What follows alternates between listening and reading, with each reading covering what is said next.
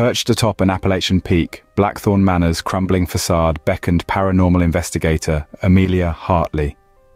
Accompanied by her team and armed with advanced detection devices, she entered the desolate village shrouded in an otherworldly stillness. Crossing the mansion's threshold, the atmosphere shifted ominously. Chandeliers swayed, casting eerie shadows as the team explored.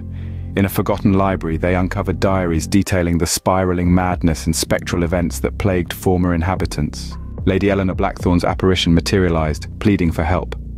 Guided by her, the investigators ventured into hidden chambers, each revealing a vivid scene from the past.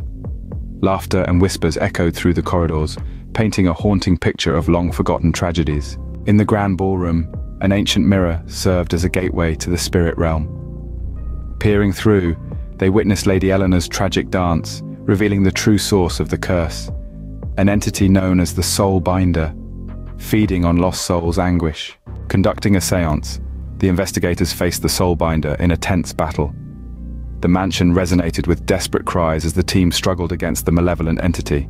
In a final surge, they banished the Soulbinder, leaving Blackthorn Manor silent. As dawn broke, Lady Eleanor's spirit bid farewell and the investigators descended.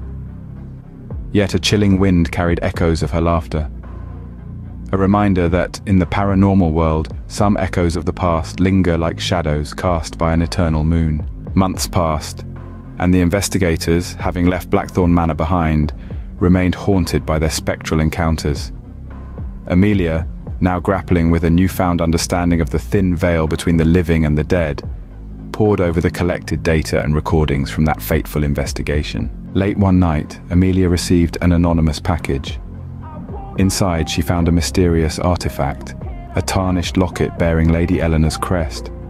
As she held it, a chilling wind whispered through her room, carrying with it the distant echoes of the past. The spectral laughter intensified, intertwining with the creaks of her floorboards. Compelled by an unseen force, Amelia embarked on a solitary journey back to Blackthorn Manor. The mist clung to the desolate village, and the mansion stood silent, as if holding its breath. Guided by the locket, Amelia revisited the hidden chambers and forgotten corridors, each step rekindling the spectral echoes. In the grand ballroom, the ancient mirror beckoned once more. This time, it reflected not only the haunted history, but also the spectral presence of Lady Eleanor. She appeared, not in sorrow, but in gratitude, as if the locket had bridged the gap between worlds. Amelia, now a conduit between the living and the dead, realized that some mysteries were meant to endure. The spectral laughter faded, leaving Blackthorn Manor in a solemn peace. As she descended from the craggy peak, the mist lifted, revealing a now hallowed estate, forever marked by the echoes of the past.